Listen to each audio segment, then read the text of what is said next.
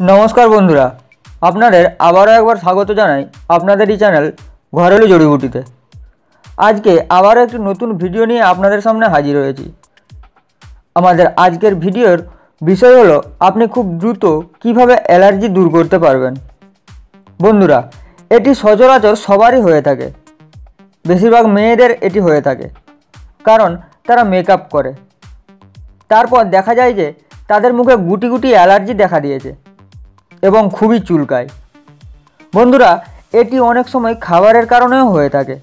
যেমন চিংড়ি মাছ, ইলিশ মাছ, গরুর মাংস, এগুলো খাওয়ার ফলে অ্যালার্জি ত্বকের মধ্যে দেখা দেয়।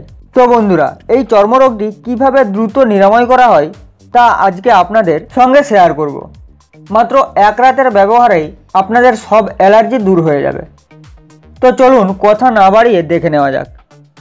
আপনারা ভিডিওতে যে গাছটি দেখতে পাচ্ছেন, ওটা হলো পেয়ারা গাছ।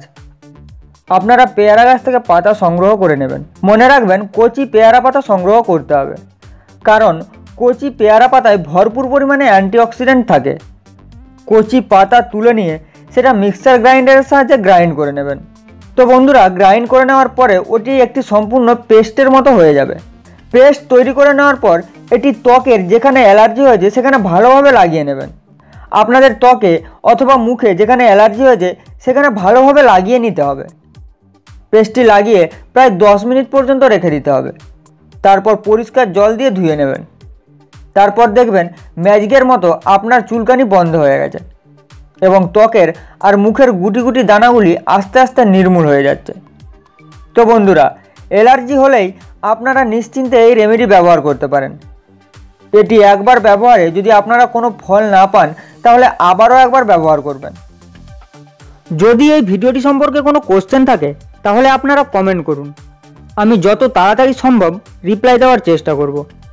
আজকের জন্য বন্ধুরা ব্যাস এতটুকুই। আবার দেখা হবে অন্য একটি নতুন ভিডিওর সঙ্গে। যদি আমার এই ছোট্ট তথ্যটি আপনাদের পছন্দ হয়, তাহলে লাইক করুন। আর এর সাথে চ্যানেলটিকে সাবস্ক্রাইব করুন। আরও নতুন নতুন ভিডিও দেখার জন্য।